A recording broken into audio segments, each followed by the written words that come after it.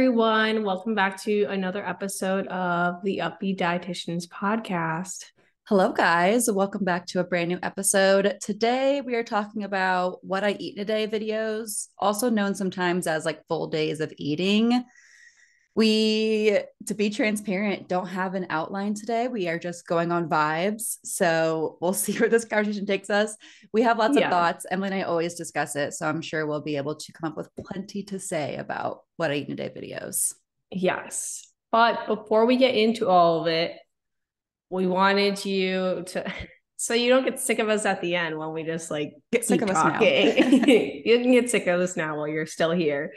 Um, be sure to check out the Beets Deets for bonus content. Our link is in our Instagram. It's also on our website. It's through Spotify to get more bonus content and more of us. Um, I'm trying to think of like I don't know anything else. We have to. Pro- oh, you could submit questions now on the website.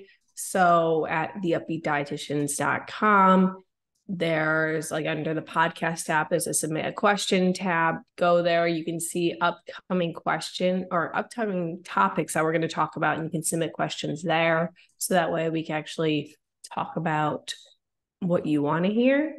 So definitely go do that. I feel like there was a third thing, and I'm we're new to this. So. Yeah, we are going to start doing this housekeeping in the beginning of the episode just to kind of remind you guys of what's all going on. It will usually be the same stuff, but I'm sure we'll have different stuff as we are creating new ideas. The third thing that I want to add is if you are not already and you do want to watch us instead of just listen, you can always go to YouTube. We are over there. So you can see us chat, see our reactions to each other's words. Um, that's always an option as well. Yeah. If the audio only is just not cutting it for you. And we will have some episodes coming up where we highly recommend watching the video version because you might be watching something with us. That's mm-hmm. a, a, mm-hmm. spoiler mm-hmm. alert, but you'll have to see in the future what that is. So, with no further ado, without further ado, with this is how my brain works at this time. They're used to it. Without any further ado, let's talk about what I eat in a day videos, full day of eatings. Specifically, what are these? So they're kind of self explanatory. They are a video of someone posting everything they eat during the day. Typically, it's like meals and snacks they don't always include like drinks. I noticed those aren't, I don't tend to see that as much unless they just are drinking smoothie. a lot. Yeah, that's true. Smoothies are always included, or like smoothies. protein shakes or supplements. So that will be included. But it's kind of just a full video picture of what someone eats for the entire day. And Hannah already kind of talked about who posts these videos. It's a lot of like wellness girly or just wellness culture in general tens of social types of social media will post about this. Yeah, we're gonna get into a little bit more, but that's kind of just the bottom line of what it is. Yeah, sometimes dietitians too will post. Like I've posted what I eat in a day videos. And yeah, we'll get to our thoughts on like if they should or shouldn't be a thing in our opinion. So I won't go too much into that now, but pretty much anyone will post them, even like just like general influencers. I think people like love to watch or just know what everyone enjoys eating. I enjoy knowing what others are eating. Yeah. Good segue here, I guess, into potential problems. I like watching them just because I like getting like recipe ideas and things like that. Um, seeing what someone creates, like what their go-to breakfast is, just for like new ideas. But a potential problem here could be that you feel like you like have to eat those foods or you compare your foods to their foods if theirs are quote unquote like healthier looking. Like that's first and foremost one of the biggest issues i'd say is just like the food comparison and that applies to like not only the choices but portions as well. It's like oh they only had that many pieces of toast. I usually have this many pieces of toast. And just makes you feel like you are either overeating or undereating or doing something wrong, which is not necessarily the case. Yes. the portions are a big part and something else is like they don't show how much they eat mm-hmm. they don't normally do like a before and after i start eating this meal but that would also be a very long video if they showed the entire time they were eating because i remember back in um, high school probably. There was like this one specific model i would watch a lot of her what i eat in a day videos and she would make huge portions mm. for like breakfast and i was like stunned. I was like how is she eating that much? But i'm pretty sure now i look back at it she was like meal prepping breakfast for the week. It was like like toppings and stuff like that but it just looked like oh my gosh you're making a full sheet pan of nuts and like trail mix how are you eating all of that? Yeah. So videos do show better picture than pro- uh, than pictures like we talked about with the progress pictures but it doesn't show the whole story especially the portion sizes exactly. as well. I feel like I, another issue maybe yours is the same as mine. I'm sure we have different ones too but the next one i want to point out is uh, it's not always happening, but there tends to be a trend of body checks before. Should we get into that side of things. That, that's going to be like, I feel like the main, the main perpetrator yeah. of issues. Yeah. If you we don't know what, body, body checking check is, is yeah. yeah. If you don't know what that is, it's when before someone shows their video, whether it's like the workout routine or what I eat in a day, usually in some way like health and fitness related, they do like a body check, just like showing their body. Usually, like their abs are out or their other they're usually exposing more skin than someone who wouldn't be doing a body check, showing off that yes. they have created a body with these food choices and or workout routines.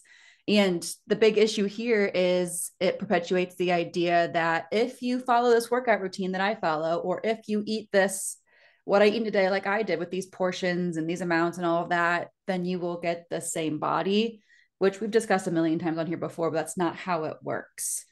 We always say this. I know it's so cliche, but you could eat the exact same as that person and work out the exact same as that person, and you would still look different because bodies are more than just food and exercise. They're an outcome of so many different things.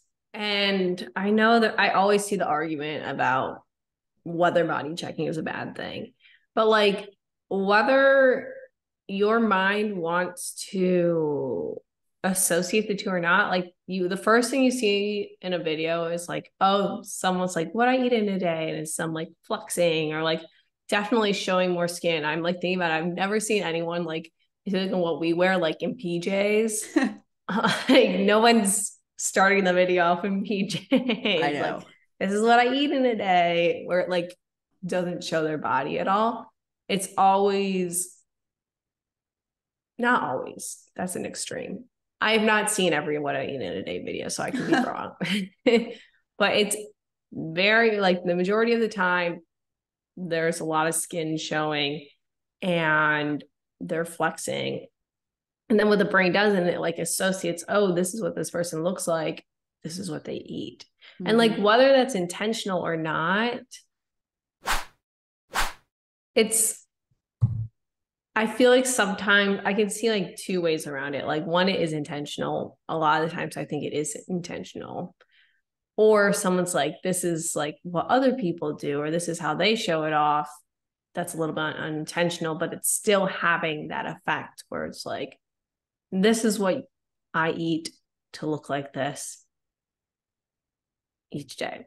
And it's like one day of eating. Like that's a problem too. I hope I hope that's, a, that's another thing, but we'll, we won't get to that yet. Yeah. But the body checking is the main thing where you can show what you eat in a day. I've seen like what I eat in a day videos. There's actually a TikToker I follow. Um, so I don't know what she used to be a cooking account, but now she just does what I eat in a day video. Like that's mm-hmm. it. But she never shows herself. And it's just like cute little like cooking it's it's still more cooking, I would say, but That's it's just like, like a full day of cooking for. almost. Yeah. Yeah. So there is a way to do it. I feel like that's a spoiler, but it's the like showing your body and then showing what you eat.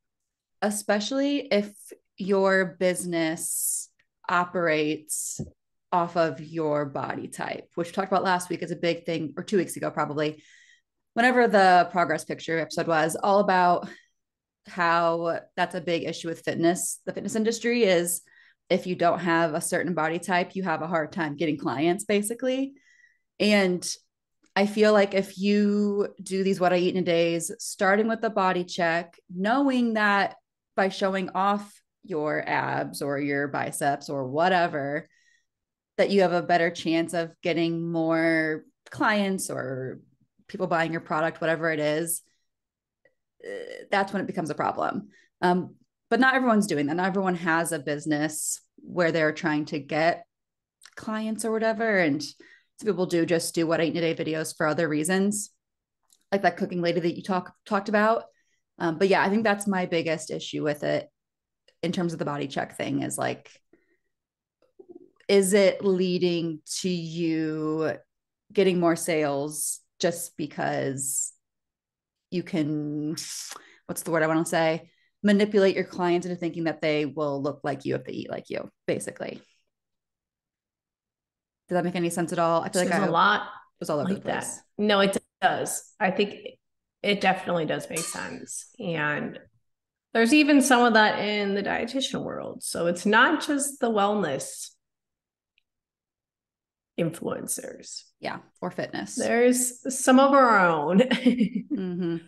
unfortunately. But like just body checking isn't great. It's not like you're not allowed to post your body on the internet. Exactly. Like I love to wear like a crop top, my belly's hanging out. Like that's not the issue here. It's the intention behind it. That's like a yeah. big that's the big thing with what I eat in a day videos. Like it's like what is the intention behind this? Like Hannah made a really good note. Like, are they going to make a sale based off of how their body looks and how they're sh- like what they're showing, what they're eating? It is this like a comparison video? Is this like to get a little bit more views? Like stuff like that, which I feel like honestly, anytime you're, you're posting on social media, you're trying to get views. So I don't know how much that around that holds there. I don't know um, who's posting, hoping that no one watches it. yeah, that's yes. but I see what you're saying. I definitely agree. Yeah. And I think what was it? Oh, the other problem that I thought of was it's one day. Yeah. So like I like the one lady I watch because I don't want to say lady, she's like our age. The girl. I would not describe us as ladies. Neither. that feels a little bit older. Um not there's not that there's, there's anything wrong with being older. We're just not there yet. But I'm I can't wait to be honestly. I want to be wise no. and old and know what my life I saw a video that was like, I get why like old people sit outside and do nothing. I saw that. And I'm like, yeah, that's what I want. I want that. Yeah. Like me too. Doing nothing, just being present. Mm-hmm. That sounds great. Sounds really great. um, but the other problem was it's like one going back, sorry, I really deterred. I didn't. The person, the, the girl that I follow she posts them every day. So she's showing like different things she's eating, but she never body checks. So like it's more of just like, let's look at what I'm cooking every day type videos. Whereas if like someone posts it every once in a while or only one, and it's like a lot about the intention behind it. Like it's not a good picture of what they're eating every single day. They could be leaving out food they could be including more food than you see. Um, you don't always know what is going on there, and you don't know how accurate of a day that actually is for them. Exactly. Like, I think basically here, like, what I eat in a day videos can be, which I guess is a good segue into our next piece. On this, we have more problems we want to talk about. Like they can be just fun content to watch, but they should not be guiding your eating in any way. Like they should not ever be used to determine for you personally what food choices you're going to make. Maybe for ideas in terms of like meals to make and stuff like that, but never in terms of like portions or like the exact ingredients you have to use in a recipe or anything like that. They should never be a deciding factor in your food choices. Retweet. Retweet. Agreed. Well, do we have any other problems to mention before we go to our opinions on if we think these are appropriate or not? I think those are the big ones. I don't think there's like a ton of ton. The big thing is like the intention behind it and the body checking. I feel like yeah. those are the two really big ones. Yeah, yeah, I agree. And what you just said too, all the portions and like not the portions, the that only depicts one day. Yeah. Which people often don't eat unless you're Emily, eat the exact same thing every single day. unless you're me. So that's true. My what I eat in a day video might be an accurate depiction of. Emily has confessed on the podcast. To do that.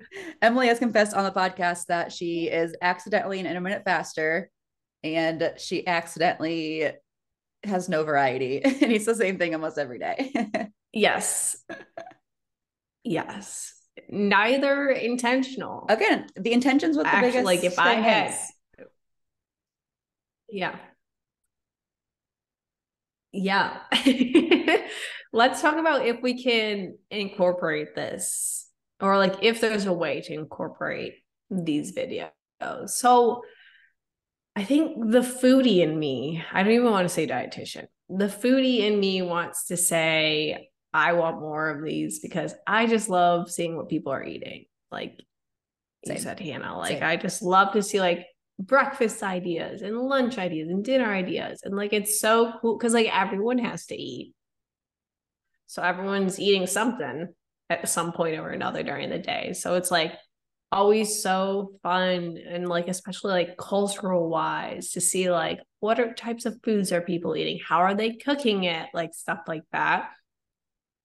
And I think there is an appropriate way to share these videos. And I think this number one way that would help this would be to stop body checking.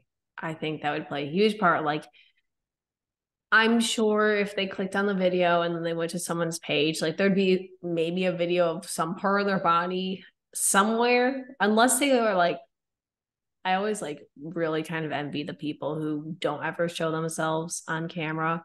I'm like, wow, that's you don't have to like look semi clean. You can just voice it over. Sometimes it's not even a voice. Like uh some people like have like one of my favorite like reactors is like Ava React. She's like that white fluffy dog. Like it's just her dog barking. And like that sounds really great to me. Um but I think the body checking is one of the most problematic things that we would need to kind of get rid of. And it really doesn't serve a purpose. Like it's not really helping anyone. Also, I don't know if you're muted or if I lost you. I was muted. Sorry. Okay. Okay. okay. Um, what I was saying was ex- except for like to make sales, like that's how it helps, but it only helps them. Yes, it's not really helping anyone else, unfortunately. Yeah. And I think like it's it's just the body checking. It's like a really big it just doesn't have the best effect. Like in this day and age especially where like there's constant body comparison, diet culture is running prevalent everywhere just like everyone wants to like be as small as possible and then you see this video of this like small typically it's a girl I haven't ever seen a, guy do a what I eat in a day video. I don't know if the algorithm just knows mm-hmm. I don't really, I don't know if I'd want to see that. um, but it's, I typically see like girls do these videos. Um, and then like you see like how toned their abs are, or what their legs look like. And then you're like, oh, I want to eat like that, or I want to do that fitness routine. I'm actually really glad you brought up the fitness component of it because I didn't realize how much I there is of that online until like I started looking back through my saved like workout videos. And there's a lot of body checking and fitness workout videos. Yeah, that's like if you saw a plus size male or female uh, trying to like promote what I eat in a day to get you to be their like personal training client, I feel like they're way less likely to get the clients compared mm-hmm. to someone with a six pack doing the same exact thing. Like they could, we could have the exact same content, exact same video, exact same yes. information being presented, but the person with the quote unquote fit body is going to be the one that makes more sales. Yeah. Yeah. So we just need to get rid of that. I think that would be very helpful. Yeah. I don't have a whole lot to add. I, I also with, think sorry. I think yeah. I think we're lagging because I keep no, I keep talking during your your spaces and then like it cuts you off when you're talking. yeah, I think I'm a little behind. I think so too. Um, I didn't have a lot to add to that. I think I agree with everything that you say. I know as dietitians, it's very controversial for us to say that, especially as non-diet dietitians, that we aren't completely against what I eat in a day videos. I think a lot of like intuitive eating, anti-diet, non-diet, whatever you call yourself, dietitians tend to be like very strict, like never share what I eat in the day video. But like we've explained, I think there's a place for them. Um, it's all again all about the intention behind them, really. That's what it all comes down to. Yeah. I think at one point, well, I know I don't want to speak for you. I know at one point I was very anti, like, oh, I remember I saw like one of our dietitian friends post a what I eat in a video, and I was like horrified. I Rage like, blackout. Um, I was like, oh my gosh, like they're showing what they're eating, and people are going to compare, but like it's a lot, it's the intention and it's if we didn't have that component where like we were constantly comparing our bodies to each other like imagine a world like that like wow. not even just that part um it wouldn't be something we'd have to tiptoe around so much but like there could be a way to do these that could be really beneficial like mm-hmm. also if someone was like this is what a really Speaking of which, okay, speaking of which, we just a video we just watched together where someone like shows everything they ate, but they also showed like how they did it like working or like this is how I managed to fit it all in. That could be really beneficial. Like, yeah. How did you manage to cook all your meals or like make sure you're eating enough while you're working or mm-hmm. you're also going exercise classes or like whatever it is. Like that's feel like from a time management standpoint, I'm big time management fan. That could be really beneficial as well. Yeah. I've on YouTube a long time ago. It's probably not a very good video, but my intentions were, I think, positive. I tried to post a what I eat in the day of like when the day basically goes to shit, like how I still was able to feed myself and like just get stuff in. Mm-hmm. Um, again, probably not the best production, but that was my intention there was to kind of show that like eating it doesn't have to be this complicated, crazy thing. Like it can just be just feeding yourself is sometimes the bare minimum. Um, I had another thought. Shoot, shoot, shoot. Oh, I also see sometimes like people in like anorexia recovery posting like what I eat in the days. Yeah. And again, how it ends up being produced, I think plays a role in if it's a productive video or not. But um I think it can be helpful to show like that experience and they're eating more than they're used to. But once again, especially if you're coming from an eating disorder, comparing your food choices or your body or anything like that to someone who is maybe at a different point in recovery is not going to be helpful. But I think it can be cool just to see the experience that it is possible to, to recover and all of that. So, once again, kind of wishy washy here, but that's another example of ones I'd see that could be helpful. Yeah. It's the intention behind it. Cause like yep. right off the bat, you're saying this is like an eating disorder recovery video. And there are some times I I see this all over the internet because there's just the mentality online is like oh, there's a lot of mentalities online, but like one of the main ones is like well, they don't owe you anything and you should just swipe away. Like that yes. could be a video where like you know where you're at in recovery and this is not going to benefit you, but maybe this will benefit someone else who also has an eating disorder um, or is in recovery. So, like, that'd be a good instance to like swipe away. Um, but then there are some times where it's just like very intentional, where they're like trying to get you to sell, buy something of theirs, whether it's a supplement, whether it's a fitness package, where it's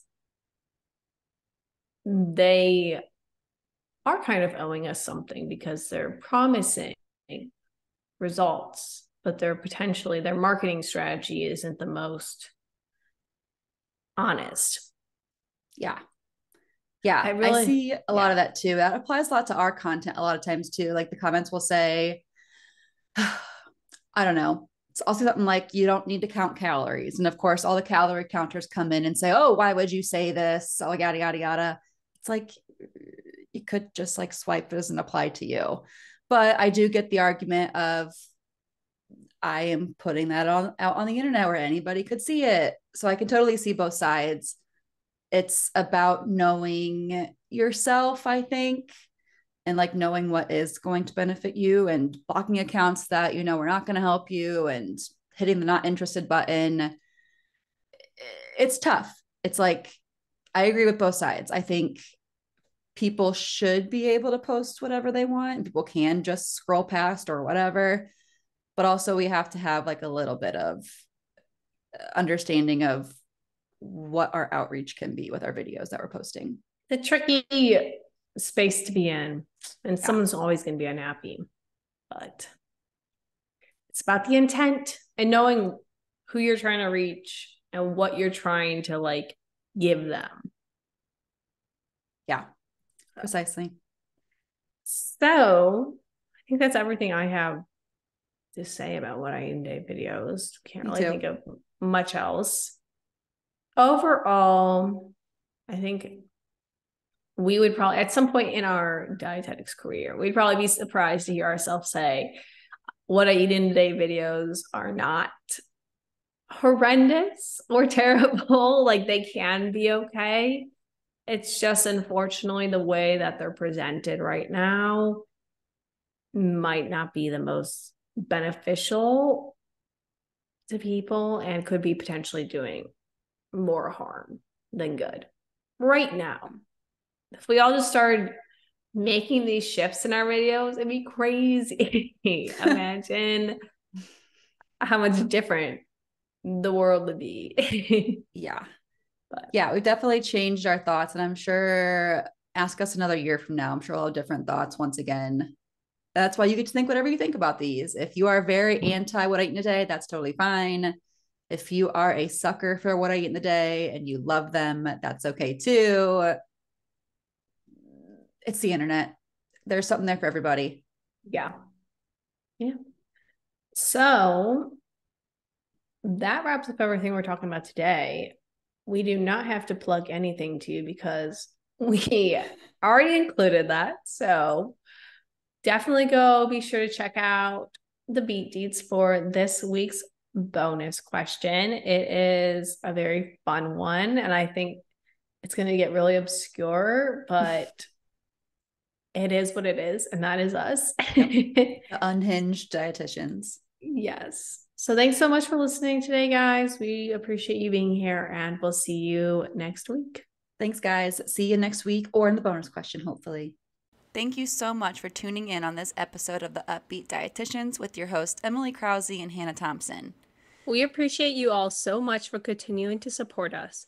In order to support us and sustain the success of this podcast, please subscribe and leave a rating and review. If you'd like to provide us feedback for future episodes and guest stars, follow us on Instagram at the Up-Beet Dietitians. Lastly, you can show us support by providing a monthly donation using the link at the end of our bio. Once again, thank you so much for listening today and stay tuned next Wednesday for a new episode. Until then, we hope you have a wonderful rest of your week.